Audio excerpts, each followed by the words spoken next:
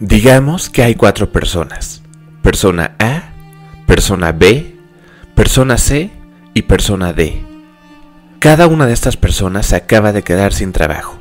Y antes de perder el trabajo, persona A recibía 15 dólares a la semana.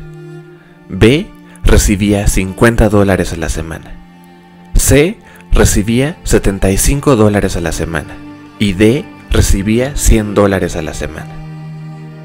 Supongamos que estas cuatro personas están sin empleo y los cuatro comienzan a ir a clases acerca del poder de la mente con un maestro que les ayude a manifestar un empleo.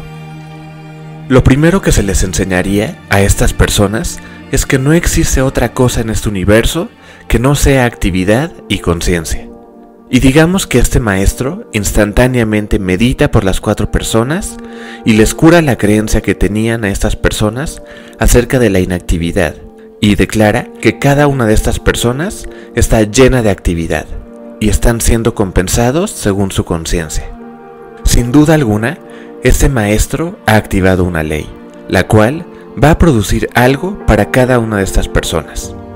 Ahora supongamos que las cuatro personas aceptan la meditación y como consecuencia, cada uno de ellos encuentra un empleo. Persona A encuentra un trabajo en donde va a recibir 15 dólares a la semana. B, 50 dólares a la semana. C, 75 dólares a la semana. Y D, 100 dólares a la semana. Seguro te estás preguntando, ¿por qué están recibiendo lo mismo que estaban recibiendo antes de perder el empleo? ¿Y por qué si este maestro hizo la misma meditación para los cuatro, ¿por qué solo uno está recibiendo 100 dólares a la semana?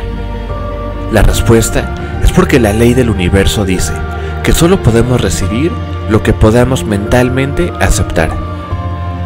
Las palabras que dijo el maestro para manifestar todo esto fueron las mismas para las cuatro personas, pero cada persona solo pudo recibir lo que mentalmente pudo aceptar.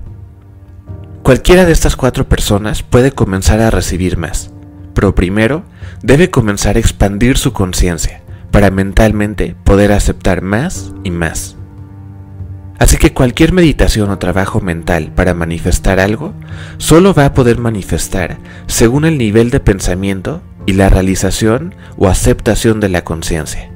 Esto no significa que a cada una de estas personas siempre va a recibir esta misma compensación ya que una conciencia más grande va a crear una condición donde la persona recibe más. La mente no distingue entre 10 dólares y 10 millones de dólares. Una oración funciona para problemas chicos, así como para problemas grandes. Pero todo depende de la conciencia y la aceptación mental de cada persona.